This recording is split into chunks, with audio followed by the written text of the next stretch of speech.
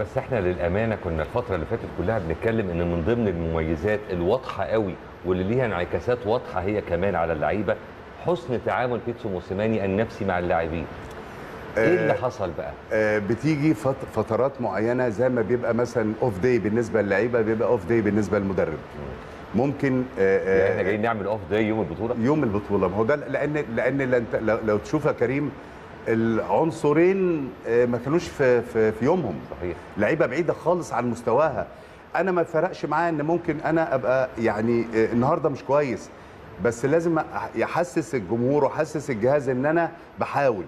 إنما لما أجي في الالتحامات مع لعيبة الجيش وأشيل رجلي وأخش بتراقي لا ده يديك انطباع على طول مؤشر على طول إن أنت مفيش حماس وفي قوة وفي إصرار. اللي هو النادي الأهلي على طول معودنا عليه. ده التراخي كان ملموس جدا في ضربات الجزاء نفسها. ما ده اللي أنا عايز أقوله لك بقى القسم الثاني سي خلاص إن إحنا عدينا ال- الشوط ال- الأولاني والثاني الوقت الأصلي ودخلنا في الإضافي ومفيش حاجة اتغيرت.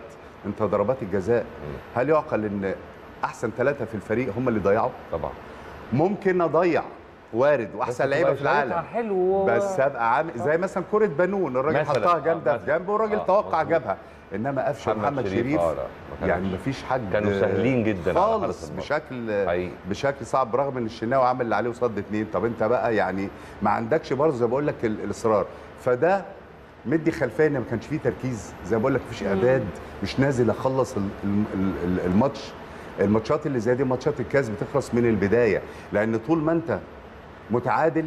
الفرقة اللي قدامك آه، آه، بتاخد الثقة عليك تتجرأ كمان، ويجي طبعاً. لها أمل أكتر وأكتر وأكتر. انها زي بقول لك توصل للفترة اللي هي فيها 50 و50 فطبعا ال- ال- ال- المباراة كانت كلها يعني آه، الحقيقة كانت صعبة وكان يوم صعب على لعيبة وجهاز وعلى الجمهور طبعا ومجلس أكيد. الإدارة. من هنا بقى جت أهمية وخطورة مباراة امبارح بتاعت إمبي. المباراة كانت آه، آه، طبعا مع فريق قوي ومدرب وجهاز آه، محترم. بنلعب في بطولة بقى أخرى جديدة لسه قدامنا مشوار فيها. طويلة ما المدى ينفعش النادي الأهلي يبقى دوري سوبر بعد كده كاس ما ينفعش. فشفنا الحقيقة امبارح اختلاف في حاجات كتير.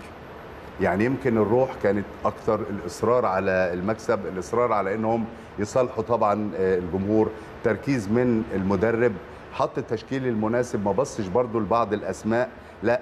وده يمكن كلام كنت في برنامج قبل الماتش وقلت يعني أنسب تشكيل هو التشكيل اللي فيه لعيبة واقفة على رجليها.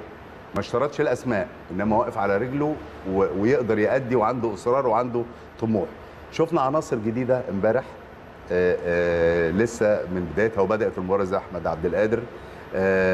في لعيبة اشتركت كمان ميكاسوني برضو. آه، لعب آه، كويس قوي الناس عمل كلها شغل حلو. عمل شغل كويس أول يوم وعنده على أداء. حلو من أول يوم آه حقيقة مش بس للأسف ماتش امبارح حظه حظه مش كويس إن هو نزل في مباراة بتاعت آه السوبر طبعاً. آه كان. اللعيبة كلها وحشة فما ساعدوهوش بس للأمانة كان برضو م- مجهوده ملحوظ وانتشاره في الملعب ملحوظ اللعيب كويس يا كريم آه آه. بيبان من لمسته. للكورة ومن. تحركاته و و و امبارح الحقيقة شفنا شفنا تغيير جدا وكان في جدا حلو مع ديانج برضو طبعا. طبعا ديانج ده اللي انت ده قلته بقى. ده نجم بصراحة المباراة. امبارح. man of the match نجم لما المباراة. بيكون فايق بيبقى تقيل. وبتحس إن هو فارق مع النادي الأهلي. طبعا لأن هو بيعمل الحاجة اللي النادي الأهلي محتاجاها لو هدخل في الحتة الفنية بتاع ماتش امبارح. اولا اللي ساعد إن الأداء يبقى كويس هو الريتم بتاع النادي الأهلي.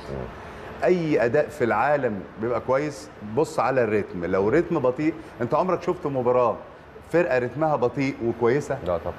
الريتم امبارح كان سريع. عشان كده النقل من الدفاع للهجوم ادى نوع من انواع ال- الفرص والمساحات ان النادي الاهلي يهدف أكتر من مرة.